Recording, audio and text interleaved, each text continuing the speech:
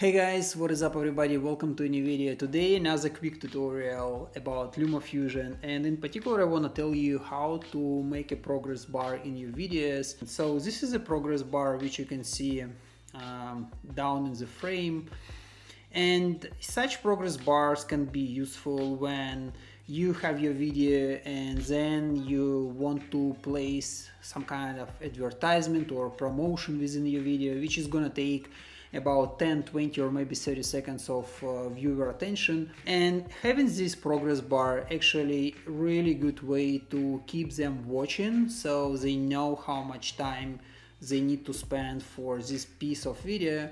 And they don't leave your video they don't scroll further because they actually have this information uh, in front of them. Now i'm gonna demonstrate you how i do uh, this trick. To be able to do so, you need any kind of um, uh, visual or for the editor. So I have Canva and then I choose elements and then I choose line. So I just need one simple line and then I wanna uh, make this line a little bit thicker, so bigger like this.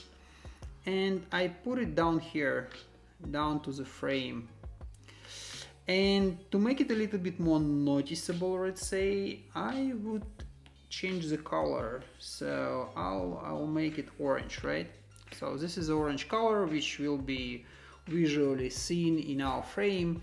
And now I need to export it, so I click Save As. Um, PNG, choose only page 17, download. And now what I'm gonna do, I'm just going to um, photos and then I import this picture to my main frame so I place it on top of this uh, episode in my video. And what I'm gonna do next I'm gonna stretch it for entire piece of the video. And as you can see now it's just orange line down here. It does not move.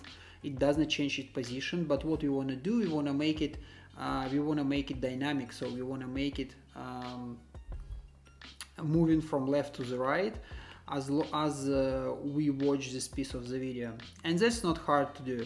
So I click onto the pencil and then I'm going to cropping tab right? So I scroll this video to the very beginning and in the cropping tab I'm going to the uh, right right right cropping. And what I'm doing for the beginning I do 100%.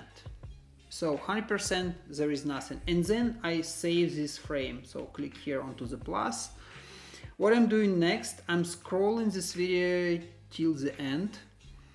And I wanna actually go back and put it to zero, like right cropping, um, put it to zero. And again, LumaFusion will save this frame automatically. So now it's all saved, I'm going back and then we can see as we move towards the end of this piece of the video, we also see progress bar, which is um, going from left to the right more dynamically. Let me demonstrate you how it looks like. So this is me talking to the camera and now we have advertisement in this video. We promote this yacht, for example, or it can be some kind of um, uh, charter or tour or you know yacht rentals. So 10 seconds video with a progress bar. And now we go back to the main frame so um, nice and easy way to visualize how long this advertisement will take your viewer to watch if they stick within your video. Um, guys hope it's been helpful. Thank you so much for watching. Let me know in the comment section below if you have any questions like this video subscribe and i'll see you in the next one. Cheers